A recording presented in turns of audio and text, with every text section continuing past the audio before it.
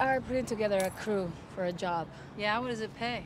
Well, if it pans out, you make $2 million for one day's work. Two million dollars. But That's my share. That's just for me. Two million dollars if it pans out. Hundred percent, I'm in. Yeah. You don't want to know, you know, the risks or. Why would I want to know the risks? Two million dollars? It's a lot of cash. Listen, I hate my life so deeply. If I had two million dollars, my life would change drastically. Yeah. Thank you. Yes. you sure you don't want to know? Uh, I bet it had something to do with a helicopter. Yeah, I'm the helicopter guy. yeah. Yeah.